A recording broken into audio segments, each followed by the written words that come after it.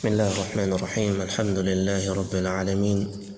مصليا على من لا نبي بعده مصطفى محمد صلى الله عليه وسلم وآله وصحبه أجمعين. أما بعد تقول يوش مروتك الله سبحانه وتعالى الله أبرز أبرز ميتر شوشوسي وقام يبقى برقان جاكو تر شوشوسي نيوكو ينبزا مبيه بجاتشو بجاوري موسي. يهوزي هم بريكو تبهو أبانا ناتكم وزما بقاتشو بقاوري موسي. Azakomeza kubaho mu gihe twe tutazaba tukiriho. Iyo niyo mana yacu dusenga kandi twiyambaza. Amahoro menshi bisakare ku ntumwa y'imana muhammadun sallallahu alaihi wasallam. Wowe n'abiwe n'abasangirangendo be na buri umwe uwo ari we wese uzagerageza gutera ikirenge mu cyabo. Dusaba allah yuko yahuza intambwe zacu n'izabo.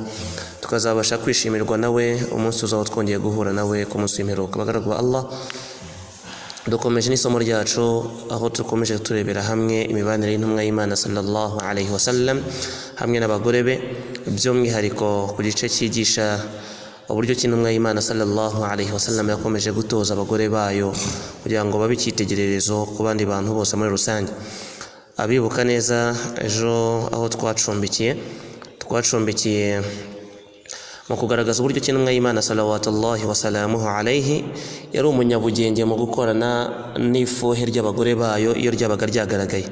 Twabonye ingero zitandukanye uyu munsi insha allahu ta'ala turinjira mu wundi muryango nanone ukomeza kutugaragariza uburyo cy'intumwa y'imana sallallahu alaihi wasallam yabanye n'abagore be. Tuzi neza ko yari ifite abagore benshi ifite abagore benshi ariko iyo witegereje imibanire ye nabo usanga ari imibanire y'icyitegererezo mu buryo bwose bushoboka.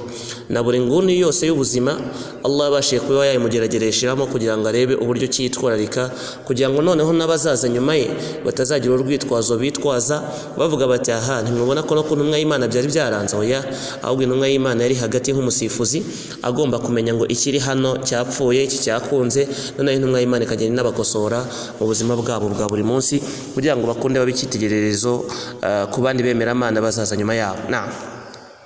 Nanone kandi mu byaranze intumwa y'imana sallallahu alaihi wasallam wayankaru alaiha ma qad yaqa minha min lafdin ghairi mustasaghin fi haqqi durratiha nanone kandi intumwa y'imana sallallahu alaihi wasallam mu bindi yangaga yangaga yuko umwe mu bagore bayo yakoresha imvugo itari nziza kuri mu gihe kuri mukeba we intumwa y'imana sallallahu alaihi wasallam hamwe no kuba yari izi yuko habaga hari ifuhe hagati yabo habaga hari ugufuha hagati yabo intumwa y'imana ntiyemeraga yuko umwe muri bo ashobora kuba yannyega mugenzi we cyangwa se ngo amusuzugure cyangwa se ngo amusuzuguze. Biri kumvikana isilamu bitandukanye n'ubu ngubu usanga turi amakipe ugasanga ku mugore muto ni we wumva gusa ashobora no kuba yavuga nawe umugore mukuru ugaceceka cyangwa se umugore mukuru ni we wumva gusa ku buryo ashobora no kuvuga umugore muto ugaceceka ugasanga hagati yabo uri umwe mu mukino bakinisha uri umwe muri mupiyo bakinisha bombi mu rwego rwo kugira ngo banyege bagenzi babo. Iyo intumwa y'imana rero yumvaga yuko hari ikisa nk'ijambo ribi cyangwa igikorwa kibi cyaturuka kuri umwe muri izo mpande zombi intumwa y'imana sallallahu alaihi wasallam ntabwo yabyihanganiraga yahitaga ibikosora urugero dufite nanone ni kuri aisha radiyallahu anha umubyeyi wacu aisha imana imwishimire muri hadithi dusanga kwa abu dawudi na tirmidhi yagize sahih na albani aratubwira ati qalat aisha radiyallahu anha yaravuze ati قلت للنبي صلى الله عليه وسلم حسبك من صفية كذا وكذا تعني قصيرة يجتمع عائشة رضي الله عنها يا يجتمع صلى الله عليه وسلم بس أكون يرجوه نصفية صفية يري مقفية ومتير لي يري مقفية إنما إيمانا يتجلس صفية أتام بك كل شيء عائشة رضي الله عنها مزي إنما إيمانا صلى الله عليه وسلم مقفية تجلسه aisha agira kwa gufuha aranje abwira rasul sallallahu alaihi wasallam aramubwira ati yewe ntumwa y'imana hasbuka min safiyati annaha kadha wa kadha. Atari ubundi ubona ntibihagije kuba wabona inenge za sofiya ubwabyo kuba ameze gutya? Ntabwo avuze ijambo. Ahubwo avuze ati ameze atya na gutya? Agaragaza ko arimo ari mugufi maze intumwa y'imana sallallahu alaihi wasallam ako kanya itibwira intumwa itibwira aisha radiyallahu anha iramubwira iti laqad qulti kalimatan law muzijat bima'i al-bahri lamazajathu ati yewe aisha uvuze ijambo riremereye ku buryo iri jambo bitewe n'uburemere bwaryo uramutse urikamishije inyanja z'isi zose uramutse wikamishije amazi yose aboneka mu nyanja iri jambo ryayakamisha isilamu murumva uburemere bwo kunegura murumva uburemere bwo kunyega bagenzi bacu uramutse ufashe iri jambo ukaba warikamisha inyanja. Wallahi amazi aba mu nyanja yose yakama ku bw'uburemere bw'iri jambo.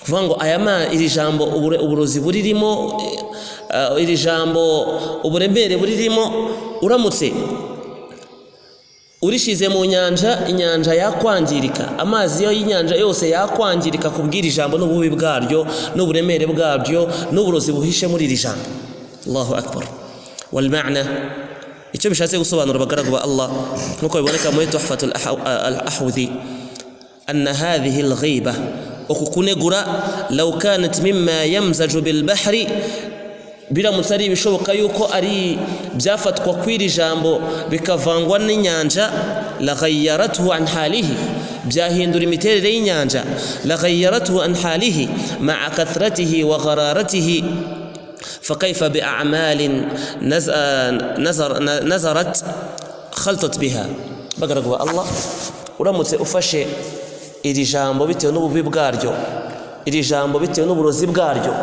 ukaryinjiza mu nyanja. Amazi y'inyanja yose yakwangirika. Kubera ububi bw'iri jambo abasilamu rebe n'icyo aisha akoze. Avuga ati annaha qasira. Niko ari mugufi. Gusa gusa abayisilamu ariko intumwa y'imana umva uburemere. Ihaye uburemere bw'iri jambo. Mu bundi buryo bagaragwa allah. Ese ibyo aisha avuze ntabwo ari ukuri? Sofiya ntabwo ari mugufi. Ni mugufi? Ariko hamwe no kuba ari mugufi ntabwo wo ukwiriye kubivuga. Hamwe no kuba ari mugufi ntabwo wemerewe kubivuga. Ni ghiba ni ukunegura. Mwayimana sallallahu alayhi wasallam yegera abasahabi arababwira ati ataduruna mal ghiba? Mwaba muzi kunegura icyo ari cyo? Baramusubiza ati Allahu wa rasuluhu a'lam. Allah n'intumwa y'Imana nibo babizi. Maze intumwa y'Imana arababwira ati dhikruka akhaka bima yakra ni ukuvuga mugenzi wawe ku byo yanga ku byo atishimira ni ukumunegura kuvuga mugenzi wawe ku byo atishimira. Bangahe njye namwe tuvuga uko bwije n'uko bukeye? Bikaba bibi kurushaho. Igihe unamunenga ku cyo adashobora guhindura. Ni mugufi wagira ngo bigende bite? Iyi niyo kamera Allah subhanahu wa ta'ala yamuremanye. Bityo kuba wamunyega se unyega ahubwo uranyega wamuhaye uko areshya n'uko ateye. Dhikruka akhaka bima yakra ni ukuvuga mugenzi wawe ku byo yanga ku byo atakwishimira. Maze umusaba arambwira ati afara ayita in kana fi akhi ma aquduhu yewe ntumwa y'imana ese ibyo uvuga ibyo ndimo ndavuga kuri mugenzi wanjye nubwo atabyishimira biramutse ari ukuri. Ni mugufi koko ni mugufi. Ni murefu kandi murefu. N'izindi mvugo dushobora kuba twakoresha. Ese ibyo naramuka muvuzeho biramutse koko ari ukuri bimuriho? Ubwo nabwo nabamuneguye. Intumwa y'imana yaje avuga ati in kana ma taqulu haqqa. Nibiramuka. Ibyo uvuga ari ukuri faqad ghatabta uzaba umuneguye. Naho niba biramuka bitari ukuri faqad bahatta uzaba umusebeje. Kandi gusebya ni byo bibi kurusha kunegura. No kunegura bifite uburemere kurusha ibindi byaha bisigaye. Islam? Kuvuga mugenzi wawe kubyo atakwishimira. Nguko uko intumwa y'imana sallallahu alayhi wasallam yajyaga yerekera abagore bayo mu rwego rwo kwirinda kuvuga amagambo atari meza kuri bagenzi babo kabone n'ubwo baba ari iki? Ari bakeba babo ariko njye uyu munsi namwe bagaragwa Allah ingo za kisilamu n'ingo tuzi muri rusange ba mukeba babanye bate ahubwo urasanga wowe ubwawe nk'umugabo wowe nk'umugabo ni we usigaye utanga amakuru ya mukeba wawe. Kuri mukeba. Urakura amagambo aha ukayajyana hariya. Aho kubunga ahubwo ukabatera. Urasanga uyu mukeba afite byinshi byinshi byinshi azi kuri mukeba mugenzi we. Yarabizaniwe n'umugabo nyirizina. Ateye atya? Akora gutya? Bigenda gutya? Bimeze bitya? Buriya buriya buriya. Bakaravuga Allah. Urugendo ruracyari rurerure rwo gukosora. Yaba ari abagabo gukosora yaba ari abagore gukosora. Na buri wese akamenya inshingano ze n'uburyo agomba kurinda izamu rye. Wallahi bitari ibyo. Jahannama iradutegereje. Allah mu Qur'an atubwira ati wala tamilu kulla al-mayl. Nuramuka ushatse abagore barenze umwe. Uramenye uramenye ntuzagira uruhande ubogamiraho uramenye ntuzagire uruhande ubogamiraho ba hagati. Wiyemeje kujya hagati ba hagati. Niyo mpamvu muri mu butabera busabwa Allah ntabwo yakubwiye ngo ukore uburinganire ahubwo yakubwiye ngo ukore ubutabera. Bikore mu buryo bukwiye. Jyamo hagati. Naho nushaka kugira ngo kubera ko rasula akunda aisha cyane nk'uko hadithi zibigaragaza zeruye zigaragaza ko yakundaga aisha nk'uko tugiye kubibona mu kanya ngo rasulu noneho abogamiye aisha aba ari bamwe ati narabibonye arega burarega wowe yari ngo amushyigikire. Ah nimwe y'imana guhita imwerekera ati lawe aisha amagambo uvuze ntabwo ariyo. Uvuze ijambo riremereye gutya na gutya na gutya na gutya. N'ubutaha ntuzongere. Ukurikije uburyo iki intumwa y'imana sallallahu alaihi yamukosoye buriya hari ubwo aisha yakongera n'umunsi n'umwe kongera kuvuga undi mu badamu b'intumwa y'imana sallallahu alaihi wasallam intumwa y'imana ihari? Ntabwo bishoboka. Niyo intumwa y'imana yaba idahari ntabwo bishoboka bagaragwa Allah uyu ni intumwa y'imana sallallahu alaihi wasallam mu gukosora no kwirinda ko hari icyakwangirika mu mubano we hagati ye n'abagore be icya kabiri twiga muri iyi hadithi ni uko utari ukwiriye kumva uruhande rumwe ngo uruhande rukwihererane mu buryo bwa burundu noneho aba arirwo ujya ukuraho amakuru gusa urumva ko rasul sallallahu wasallam aisha hamwe no kuba mukunda yambwira ati reba birahagije kuri sofiya gutya na gutya. Arabizi ko bishingiye ku bufuhe ariko intumwa y'imana yambwira ati oya ijambo uvuze riraremereye wa aisha. Eh ntabwo ashaka ko muteranya. Bimeze bite noneho uyu munsi? Twumva amabwire hanze akaduteranya na bagenzi bacu twe nta kintu twigeze dupfa nabo. Umuntu akakumaramo urukundo wakundaga mugenzi wawe. Akarukumaramo neza neza. Kubera ijambo runaka yakoresheje kubera kumugusebereza imbere. None agaciro wamuhaga n'icyubahiro wamuhaga n'uburemere n'urukundo wamukoreraga byose akabikwambura mu segonda rimwe wakongera guhura na mugenzi wawe mugahura utakimwishimiye byagenze bite? Mwapfuye iki? Niyo mpamvu intumwa y'imana sallallahu alaihi wasallam ivuga ibintu bitatu. Imana yanga kuri twebwe imana yanga kuri twe ko twarangwa na byo. Ikintu cyiza ku kubitiro qila wa qala. Numvishe bavuga nanjye ndavuga. Kumva amabwire. Kumva amabwire. Rasul ntabwo abwiwe amabwire ngo a ngo sofiya yavuze gutya. La yeretswe ibiri kuri sofiya nawe areba ariko ahise ahagarika uwo muryango. Ahise ahagarika uwo muryango. Bimeze bite? Twe hanze bagaragara Allah imibanire yacu imikorere yacu imigirire yacu imibereho yacu imikoranire yacu. Inzangano za hato na hato zidafite n'icyo zishingiraho. Guteranya kwa hato na hato kudafite icyo kubakiyeho. Kubeshyerana hagati yacu na mu buzima bwacu bwa buri munsi. Kuvuga ibyo utumvishe guhagarara ku byo udahagazeho. Iyo ureba imibanire yacu abayisilamu usanga bingana hadithi intumwa y'imana sallallahu alaihi wasallam y'amazi yamaze kwangirika mu buranga bwa benshi. Amazi ari ukubiri. Hari amazi nk'aya ngaya dusanganywe hari n'amazi y'iki? Hari n'amazi y'icyubahiro cy'umuntu y'isoni nk'uko twabibonye mu bihe byatambutse. Aya mazi y'isoni mu buranga bw'abantu n'icyubahiro cy'abantu yamaze gushira mu buranga bwacu yamaze gukamuka yamaze guhindagurika. Aho umuntu akubwira ijambo burya kana kano ko nk'uko inna lillahi wa inna ilaihi no kuntu namwubahaga no kuntu bikaba birangiriye aho ngaho ntibihari eh burya kana kane gutya na gutya subhanallah. Eh eh eh eh eh ibyo bakubwiye ugahita uca akarongo k'umubano wari ufitanye n'akanaka nyamara akhira wajya kwitegereza neza ugasanga ni uguteranya ariko urahera he usaba imbabazi. Kiburi ko iba yamaze kutwica yamaze kwinjira mu buzima bwacu. Igisubizo wiha ni cyo kuvuga ngo ah kamambayambaya n'ubundi ntacyo ntacyo n'ubundi yari amariye. Urukundo rwacu rushingiye ku bintu. Urukundo rwacu ntabwo ari urukundo ruzima. Urukundo rwacu ntabwo ari urukundo rugamije khere rugamije ibyiza. Allah twese atugirire impuhwe kandi atworohereze insha Allah ta'ala. Nanone kandi intumwa y'imana sallallahu alaihi wasallam mu byayiranze nanone wa kana yatrukuhunna liyaqtasasna min ba'dihinna. Nanone kandi intumwa y'imana sallallahu alaihi wasallam yajyaga ireka abagore bayo bakishyurana hagati yabo. Iyo hagiraga urengera mugenzi we intumwa y'imana bahaga urubuga bakishyurana hagati yabo. Cyumva kiri kumvikana islam? Ibi nabwo tubikesha hadithi ya Aisha radiyallahu anha hadithi ndende hadithi ndende insha Allah ta'ala nibidukundira yuko tuyiganiraho yose tukayirangiza turayiganiraho ariko niba ngombwa ko tuyicamo igice insha Allah ta'ala turareba uburyo ki twayicamo igice yakiriwe na Bukhari na Muslim حديث دكتور عائشة رضي الله عنها أتوقيرتي أن نساء رسول الله صلى الله عليه وسلم كن حزبين قبل قرب منهم إيمان صلى الله عليه وسلم أبارا متسين دبيري بارا متسين دا abiri mu rwego rw'ubufatanye rw'urukundo ntago ntago bose bakundanaga kimwe.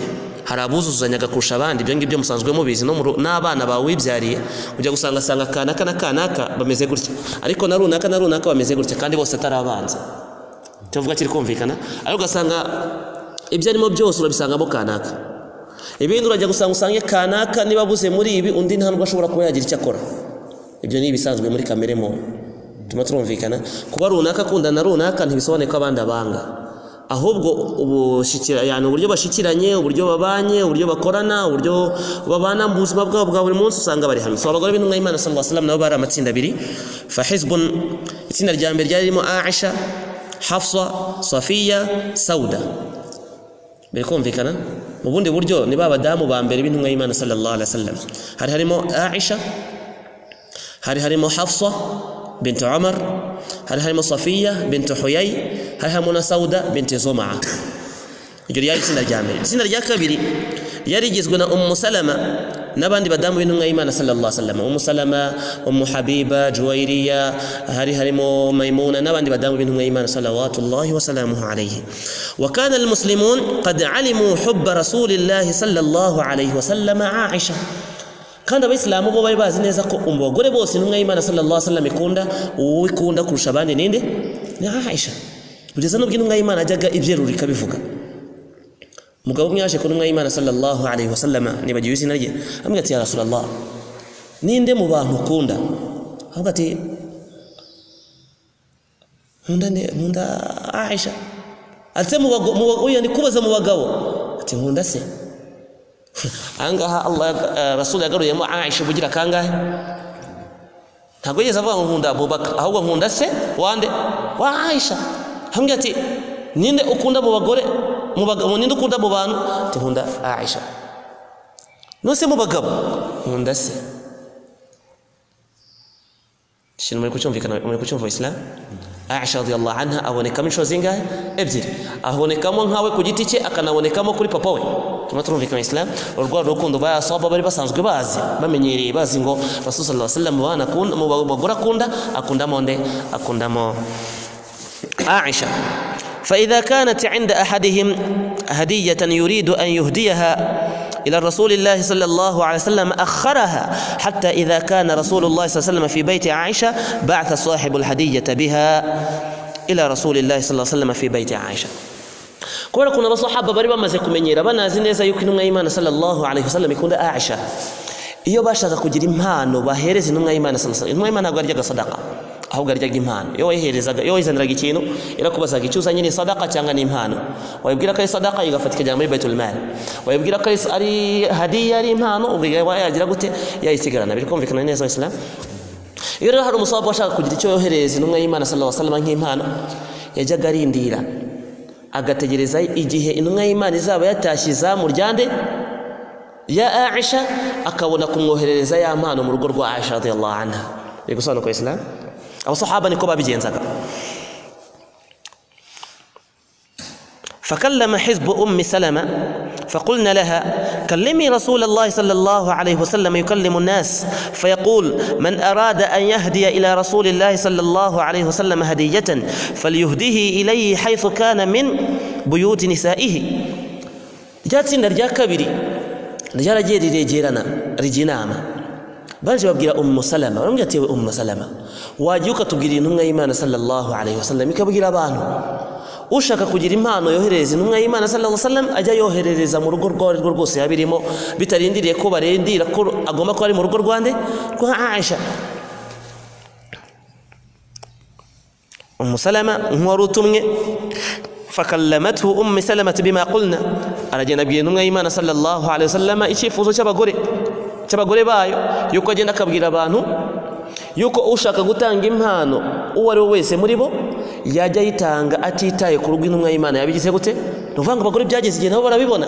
Bakabona ko intumwa y'imana agiye kwa aisha musaba kanaka ni bwo yibuka kujyana impano. Musaba kanaka ni bwo atanga impano. Ariko yaba ari mu zindi ngo mu ngo z'abasahabakazi z'abagore b'intumwa y'imana wasallam ntibohereze zaki za mpano. Ah baragenda bavuga bati muri rya tsinda rya kabiri. Twabonye ko itsinda rya mbere ryari rigizwe n'abagore bane aisha hafsa safiya ndetse na sauda. Abangaba ntabwo bari bari muri rya tsinda. Rya tsinda rya kabiri rero ni bwo bagize ikibazo bavuga bati ibi ngibi twaba ari yani biragaragara ko bitagaragara neza. Aho intumwa y'imana ibwire ibwira abadamu ibwira abasahaba ushaka kugira impano atanga ayitange mu rugo rwe rwose. Intumwa y'imana igize gute? Irimo hatitawe kurindira yuko intumwa y'imana igomba kuba iri mu rugo rwande rwa aisha. Umusalama yarabivuze falam yaqul laha shay'a ariko intumwa y'imana ntiyagira icyo imusubiza mwihorera. Intumwa y'imana iricecekera ntiyagira icyo imusubiza فسألناها. بعد كوزا أو مسلمة أم جاتي يا بشيتي ما قال لي شيئا. فقالت ما قال لي شيئا. أم جاتي ناكين ما يمان يجزين سويزا فقلنا لها بون جبرا جاتي فكلميه. وقوم بكون جلوك مفجي شقي مبجيرا كوي بازنا نونا يوكو. أم سلمة نونا مبادام نونا مير جاتي ندر جاكا بيري. ورو بشكوكا نكون جلوك نونا يمان صلى الله عليه وسلم. تمتمون فيك أنا. قالت أم سلمة جاويتي فكلمته حين دار إليها أيضا. أم سلمة يا رينديري إجيزا مرجر جاري جيزوه أنا جاري جاري سويلة من نغي إيمان رجال مصابة. تي نغي إيمان وابكي أبقى صحابة. إجي بجي كجري مانو بتانغا كوبا جواز نمونغور كورغا الغوسي أوري موباتي تي كوري ندير الغورغو عائشة غوسا أنا رأي مبغيرة فلم يقل لها شيئا. إنه غيمان هي جنان نتيجة لغوتي إمو سوبيزا فسألناها. بونجي برمو وزوتي فسألناها. فسألنها بدا جنزبيتي أقص بشيتي فقالت أنا بسبيتي ما قال لي شيئا. هاتي جزا سبيتا فقلنا لها وأنا مبقيتي كلميه حتى يكلموك. وقوم بقبي مبقيرا كجزي جيها قصبيتي فدار إليها. نانوني intumwa y'imana yongeye kurara kwa umu salama umu salama arongera abimubwira fakallamatu arongera abimubwira ati ya rasulallah rwose twemerere abasahaba bagiye batanga babwire bagiye batanga impano zabo aho waba uri hose batitaye kurindira urugo rumwe ngo rero bajyaniramo impano. Intumwa y'imana imaze kubona umusalama akomeje guhatiririza kumubwira. Intumwa y'imana yamusubije ivuga iti la tudhini fi aisha. Muramenye ntimukambuze amahoro kuri aisha. Ntimukambuze amahoro kuri aisha. Fa inna alwahya noneho intumwa y'imana irababwira ishaka kuberurira ngo ibabwire uko bimeze noneho mu buryo bwagutse. Hahandi bavuga ngo ni ugusubiza umuntu ku buryo umusubiza mu buryo bwagutse. Anje arababwira ati mwe murabona abasahaba ari bo kibazo gusa. Ariko reka mbabwire n'ibyo mutari muzi n'ibindi.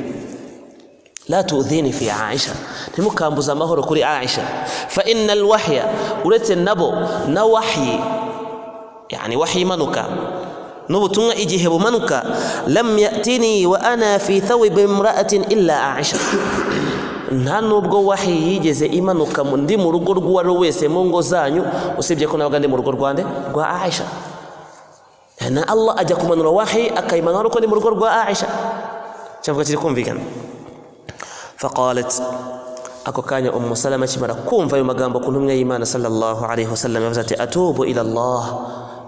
من أذاك يا رسول الله. الله مبارد كوانا كوز مهر يوينهم إيمان. ثم إنهن دعون فاطمة بنت رسول الله صلى الله عليه وسلم. بابو نيوكو أم سلمة بتاجي شوتي بأكو مشاكو هاتي رزا بجاكو فاطمة حب رسول الله. ركون دركن إيمان محمد صلى الله عليه وسلم. فاطمة نعيم وقاب جن إيمان صلى الله عليه وسلم يكون لك كركو كركو كركو كركو ركومي كركو كركو هم فاطمة بن آه، فاطمة الزهراء. بابا سيكون يكو كو سلمة هاي سوي سوي شيء ما جيتور سيو واجي كوري بند كوري فاطمة. بلهم جاتي فاست فاستأذنت عليه وهو مضطجع. معي في مرطي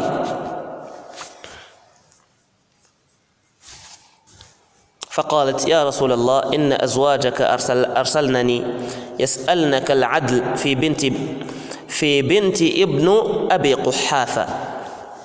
وأنا ساكتة. عائشة قالت بمسك إذا فاطمة. فاطمة يا راجع. أصورين كان سبق كوين جلالين جلا. أسانغا أن إيمان صلى الله عليه وسلم. إرجامني مچومبا يعني إرجامني مچومبا عائشة رضي الله عنها. Arangije aramubwira ati yewe ntumwa y'imana mu by'ukuri abagore bawe baranyohereje kugira ngo bagusaba ubutabera. Bagusaba ubutabera ku mukobwa wa abi quhafa. Bagusaba ubutabera ko wagira ubutabera ku- kuri nde? Ku mukobwa wa abi quhafa. Abi quhafa ubundi ninde ni we abubakar siddiq. Abubakar siddiq mu mazina y'ubundi nyirizina ntabwo yitwa abubakar siddiq ntabwo yitwa abubakar abubakar ni akabyiniriro turimo turumvikana ubundi yitwa ah, abdullahi ibn quhafa niryo zina rye eh, nyakuri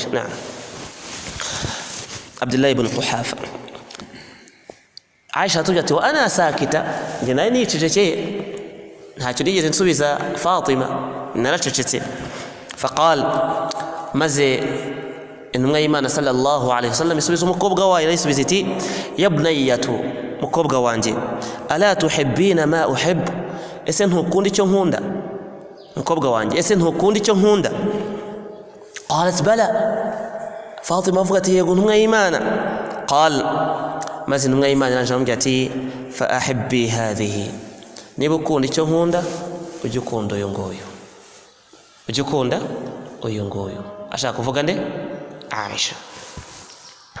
فقامت فاطمة حين سمعت ذلك فرجعت إلى أزواج النبي صلى الله عليه وسلم فأخبرتهن بالذي قال بالذي بالذي قالت.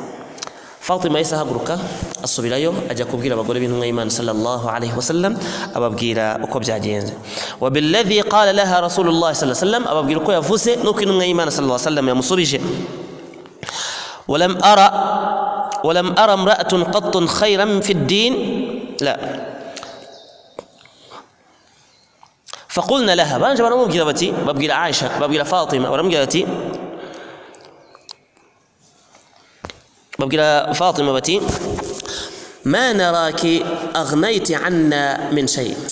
ترون هاجو تمرير غوز ترون هاجو وتمارير غوز farji'i ila rasulillahi sallallahu alayhi wasallam subira ku ntumwa y'imana uyibwire rwose ubwo urumva utubwiye iki subira ku ntumwa y'imana uyibwire urumva ko intumwa y'imana yababwiye ngo ese ntukunda icyo nkunda jya ukunda uyu nguyu ese bihuriye hehe kuri bo bahise bibaza nose bihuriye hehe n'ibigendanye n'iki ni byo twe twaregaga ni byo twasabaga ntacyo tumariye rwose subirayo ujye kumubwira wumva icyo akubwira aisha fatima yaje arababwira ati wallahi la ukallimuhu fiha abada ati wallahi sinzigera muganiriza kuri icyo ngicyo na rimwe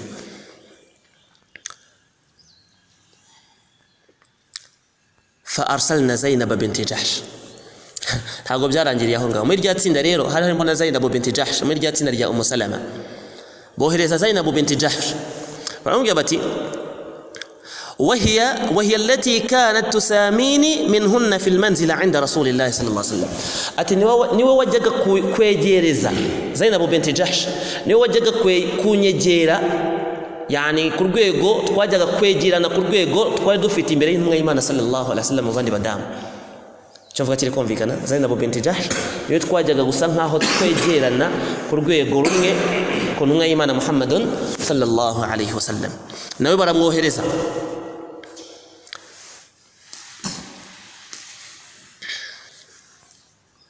أها ولم أرى امرأة قط خيرا في الدين من زينب والله ntago nigeze mbona umugore wanyuraga ku bigendanye n'idini yari afite nkande nka Zainab murabyibuka Zainab ni umwe mu badamu b'intumwa y'Imana bapfuye mbere tuma turumvikana nk'uko twabibonye nyuma nk'uko twabibonye mu masomo yatambutse wa atqa lillah kandi nabonaga arushaho gutinya Allah yari afite gutinya Allah Wa asdaqa haditha kandi yavugishaga ukuri. Wa awsala lirrahim uri kumuvuga ninde umva wisilamu arimo aravuga nde? Mukeba we. Umva amagambo ari kuvuga kuri nde? Kuri mukeba we. Aravuga ati ni we nabonaga usa nkaho unyegera ku rwego rwanjye. Icya mbere ni we nabonaga afite idini rifatika. Imani kabiri ni we nabonaga arushaho guti yani afite ugutinya Allah subhanahu wa ta'ala biri hejuru. Gatatu wa asdaqa haditha yari umunyakuri cyane ku rurimi rwe. Kane wa awsala lirrahimi yajyaga agirira neza umuryango we.